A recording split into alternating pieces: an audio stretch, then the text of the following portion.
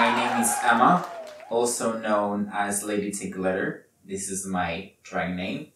I'm a drag queen. I'm also an author, a blogger, an LGBTQ activist, and also a model. So I'm the total package. Identifying myself as a bad bitch, first of all. Second, my pronouns are she, her, it. Drag is for me a way to express myself, a way to um, to get away from reality, a way to help other people come out if they need to come out, um, help them as well understand what they can do better than themselves.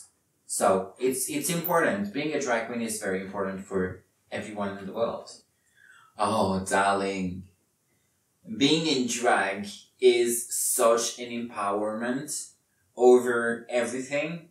So when you're having a bad day and and you having a shit week, a shit month, everything is going bad, you put on a wig, you put on some heels, and you put on like we call this the mark of war when we do when we paint ourselves.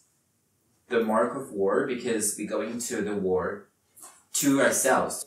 When I get out of my house, I have my shields up, my makeup, and I'm going gay to the top. But in order to do that, I have to become some, somebody else. So what you see outside the house is not the person that I'm gonna be inside the house. I first discovered drag by my gamer. Um, she basically saved my life and put me in drag that day. I was on a bridge one day. I was ready to jump and she just passed by and like it's not like everybody else who actually just looked at me and just go on their way, she stopped and talked to me. It was two days before, after I finished my conversion therapy. I was just like, I'm done. I'm done. I'm just finished. I told her about my feelings towards men. I told her about I don't know where the fuck I'm doing. I just vented of everything that's happened to me. We talked about me going to conversion therapy and stuff like this. She put me heels drag queen and I'm grateful for it because I'm here, you know? That's why I'm here today because I pursued it and I'm so excited that she, she did that for me. I come from a very, very religious family. I was adopted legally when I was two years old. Extremely religious family. And we very, very well known here in England, especially in Golders Green. It was very, very hard for me. I wanted to escape. I wanted to, to, to say, I'm done, bitch. Like, thank you, bye. No one knew that I was gay. And then as soon as I came out, my whole world came, came tumbling down and life happened. They sent me to my room. I was not allowed to leave my room for like three days straight. I had a potty chamber in my room. That way I will not, if I need to go, I have the pot. I don't leave my room for three days like this. And then one day my father said, get in the car. We drove. and They put me in an orphanage and that was the last time I saw them that that was it. Done. Finished. I didn't have a real relationship with my father ever. When he abandoned me, he didn't give give me anything. He didn't leave me anything. I want I want to understand why. What is the thing that make a parent abandon their kid because they're different? When my father died, I cried so much. I that's that is what um, gave me the depression. The the depression. This is how I started depression and stuff like this This is how I started drugs because the, the trigger was my father being being being dead. That was my trigger. And it wasn't the first time I saw someone dead. It wasn't the first time I had to bury someone. It was not my first burial. It was not the first. So for me to be destroyed like that was a turning of event for me. So the story of my brother is I made a DNA test like a year ago. Um, I wanted to know where I come from. So nothing came in, nothing for like a year. And then five months, six months ago, I think, something like this, I don't know exactly. Um, I got a hit.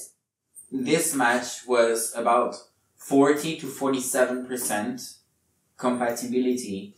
And then it says brothers and sisters. I was like, nah. I might be tripping. I'm tripping. It's not possible. I've looked for a brother my whole life, and now it's just like, just like this. I have one. Just like, nah, no, nah, no. and turns out, yes, I do. he was born also in Latvia. Um, he is 29, I think. I'm not sure. I think he's 29. And he lives in Atlanta, Georgia. So that's in the US. And um, yeah, we're planning on seeing each other maybe next year. So yeah, it's gonna be amazing. Basically, my brother is why I'm doing drag all over again. He never saw a drag queen. Never. Can you believe that? Never. Never, never, never, never. Never! So, I told him, like, I have this old wig. I can wear it. I can do my makeup. I can, I have this thing. I can wear it. And I will show you what is a drag queen. So I just put my phone here and I made him a show for 20 minutes.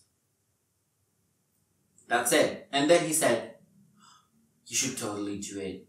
Like, live. Go to some, somewhere to do it. I was like, okay, we can try. Um, I got married to a guy called Brian.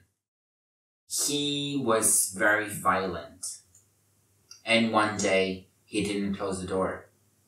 And so I just left. And I never spoke to him ever again, unless it was in presence of a lawyer. I went to to Tel Aviv. It was amazing. Oh, amazing. Amazing. And I went to talk to my parents. They didn't answer me because, well, if they did, I will freak out. Let's be honest. I'll fucking freak out. so, for me to be able to transition, I wanted to have the full mind of myself. In order to be myself, to be who I want to be, I need to have a chat with my parents. They didn't hear me out when they were alive, so I'm gonna to them when they're dead. This was that part where I turned my life into something else. So it was a very important moment for me to be know to, to know about what I'm doing. To understand what I'm doing. Because since that day I went to Thailand, got surgery, and never got shit from anyone.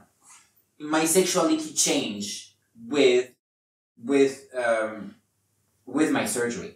The first thing I did is I did this. I checked if it was gone. Then I knew it was gone, and then I was like, relief, relief. It's gone. It's done. When I'm in France and I walk in the streets, people will literally cross the road because they see me. So is it maybe because I'm a little bit brown skinned or a little bit very much gay or, you know, the, the, being different in France is bad. It's very, very bad. You cannot uh, be kind of like yourself. France is, ugh, disgusting. I will not say, I will not say that French people has a bad lifestyle. I would say that French people are super fucking racist and they're not afraid to tell you that they are racist. Also, it's not a good land of opportunity when you need some. Having a nice position in France is very, very difficult. And here in London is the land of opportunities. So this is why I came here to steal your job. so yeah, I'm more open to my sexuality. I'm more open to uh, my drag. I'm more open-minded as well. Um, because I became pansexual only when I started when I started here. I've been pansexual since maybe like two years, three years now. Before I was, who knows what? I was something, but I don't know what exactly. I think fashion and glitter and the stage and drag queen actually chose me. I didn't choose it. It chose me. After, after all those years of trying to figure out, am I going to kill myself today? And asking myself, should I just end it today? When I wake up in the morning, it actually found me and I'm so grateful for it. I'm honestly so grateful. And oftenly I think about if my parents didn't abandon, abandon me, maybe it, it will never happen. My life right now will never happen.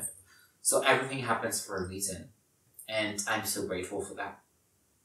Honestly. I'm at peace with myself. I'm confident with my body. I'm confident with my sexuality. I'm confident in myself. In order to, to know where you're going, know where you came from, but get lost because then you will find your way. You will find yourself, but also it will help you um, deal with the deal with the problem because what doesn't challenge you will not change you. So if you want to change yourself, you have to challenge yourself. If I die tomorrow, I will die tomorrow doing what I love, which is doing drag, put glitter on, and dance. That's it. I will die wearing heels and glitter. a lot of it. be a queen, be a drag queen, be amazing.